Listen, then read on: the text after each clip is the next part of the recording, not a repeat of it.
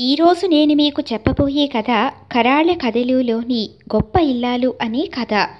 భర్త ప్రేమ కోసం కొన్ని రోజులు చెట్టుగాను మరికొన్ని రోజులు మనిషిగాను మారిన ఒక ఇల్లాలి కథని ఈరోజు మనం తెలుసుకుంటున్నాం. ఇప్పుడు కథలోకి వెళ్దాం. ఏ విధంగానైనా సవిత్వకుని భ్రిష్టుడిని చేసే పట్టుదలతో కరాళుడు మరో వనకన్యలో ప్రవేశించి ఈ కథ చెప్పటం ప్రారంభించాడు. ఒక ఊళ్ళో బాలికుడు అనే యువకుడు ఉండేవాడు. వాడు నిత్యం అడవికి వెళ్ళి పుల్లలు కొట్టి వాటిని అమ్ముకుని జీవిస్తూ ఉండేవాడు. అతనిని వరాలు అనే యువతి ప్రేమించింది. బాలికుడు ఆమెను కూడా ప్రేమించాడు కానీ పెళ్ళి చేసుకున్నాక ఆమెను పోషించలేననే భయంలో పడ్డాడు. వరాలు ఎంత చెప్పినా బాలికుడు ఆమెను వివాహమాడలేదు. వరాలు విసుగెత్తిపోయి ఆత్మహత్య చేసుకునేందుకు అడవికి వెళ్ళి ఓ చెట్టు కొమ్మకు చీరను వేలాడదీసి ఉరిపోసుకోబోయింది అంతలో ఆగు అని ఎవరో ఆమెను పిలిచారు. తీరా చూస్తే ఏ చెట్టుకైతే ఆమె ఉరిపోసుకోబోతోందో ఆ చెట్టే ఆమెను ఆగమని పిలిచి ఆత్మహత్య మహాపాతకం. అయితే నిన్ను చూస్తే జాలి కలుగుతోంది. నా త్వరలో కావలసినంత ధనం ఉంది. ఆ బంగారం వల్ల నీ బాధలు తీరేలా ఉంటే తీసుకువెళ్ళు అన్నది చెట్టు. చెట్లు మాట్లాడటం వరాలకు ఆశ్చర్యం కలిగించింది. ఆమె చెట్టు దగ్గర మోకరిల్లి నీవు ఏదో దేవత అయి ఉండాలి. నేను డబ్బు తీసుకెళ్ళినంత మాత్రాన బాలికుడు ఆ డబ్బు తీసుకుంటాడనే నమ్మకం నాకు లేదు. నేను ఆత్మహత్య పాపానికి లోను కాకూడదని నీ తలంపైతే నన్ను నీలాగా ఇక్కడ ఒక చెట్టుగా మార్చు. నా బతుకు ఎలాగో మోడివారిన బ్రతుకే గనుక ఇక్కడే నేను మోడుగా పడి ఉంటాను అన్నది.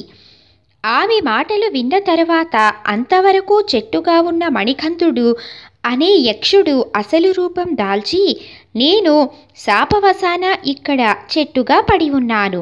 నా ఈ మూడు బ్రతుకు ఎవరు కావాలని కోరి వస్తే వారికి అప్పగించి నేను యథారూపం దాల్చవచ్చుననే వరం ఉన్నది. కనుక నా స్థానంలో నీవు చెట్టుగా నిలబడు. కానీ ఒక విషయం మళ్ళీ నీలాగా ఎవరైనా వచ్చి మోడు కావాలని కోరుకుంటే తప్ప నీకు విముక్తి లేదు అని చెప్పి మాయమయ్యాడు. వరాలు చెట్టుగా మారిపోయింది. అడవి మధ్యలో ఆమెకు ఆ బ్రతుకే హాయిగా ఉంది. అలా ఉండగా ఒకనాడు బాలికుడు మంచి చేవగల మాను కోసం వెదుగుతూ అడవి మధ్యకొచ్చాడు. అతడి కంటిలో వరాలు చెట్టు పడింది. దాన్ని నరికి తీసుకువెళ్ళేందుకు వాడు నిశ్చయించుకుని గొడ్డలితో ఒక దెబ్బ వేశాడు. వరాలు ఆ బాధ తాళలేక అమ్మా అంటూ కెవ్వుమంది. ఆ స్వరాన్ని వింటూనే బాలికడు వరాలను గుర్తించి ఏమిటి నీవు ఎక్కడ ఉన్నావు? అంటూ ప్రశ్నించాడు. చెట్టుగా ఉన్న వరాలు తన గురించి వివరించి చెప్పింది. ఆమె ప్రగాఢ ప్రేమకు బాలికుడు పరవశుడై ఇప్పుడు నిన్ను పెళ్ళాడేందుకు నేను సిద్ధంగా ఉన్నాను.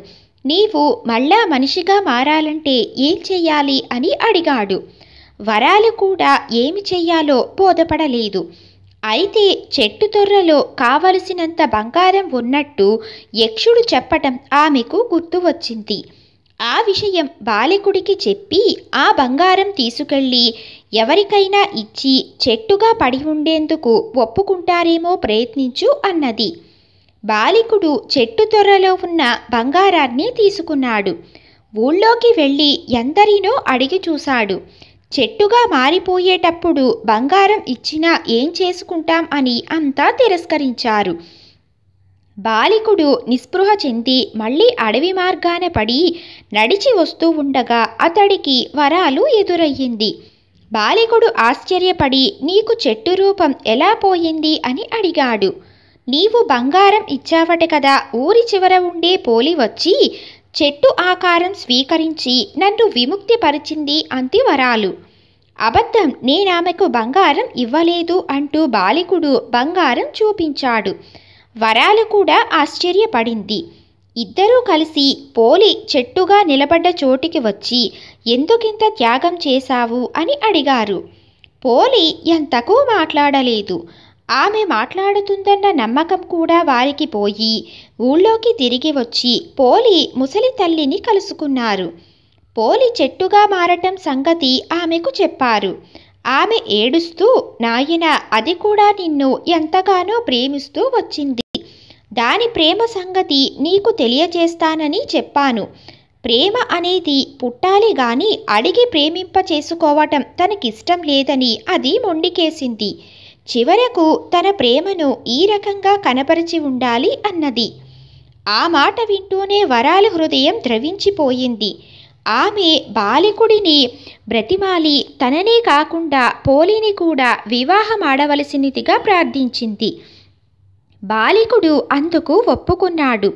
వారి వివాహమయ్యాక వరాలు పదిహేను రోజులు బాలికుడితో ఉండి తర్వాత అడవికి వెళ్ళి తాను చెట్టు రూపం ధరించి పోలిని పంపింది.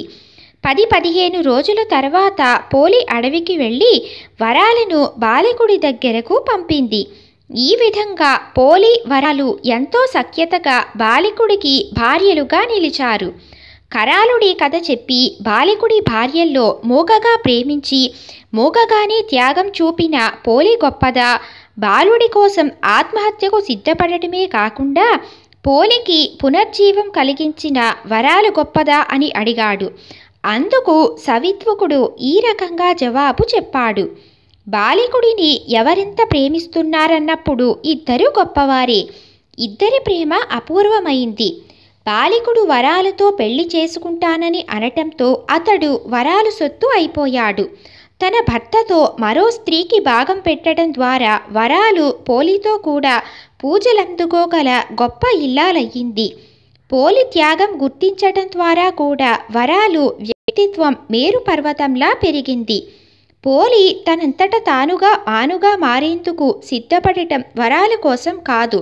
తను వలచినవాడు తనకి దక్కని తరువాత ఏ ఆడదైనా చేసే పని ఆమె చేసింది. బాలికుడైనా సుఖపడతాడని ఆమె త్యాగం చూపింది. కానీ వరాలు అలా కాదు. కరుణతో మానవతను ప్రదర్శిస్తూ తన సర్వస్వం అయిన బాలికుడిని ఆమె సగానికి సగం దానం చేసింది. పోలికన్నా ఈ కారణంగా వరాలే చాలా గొప్పది.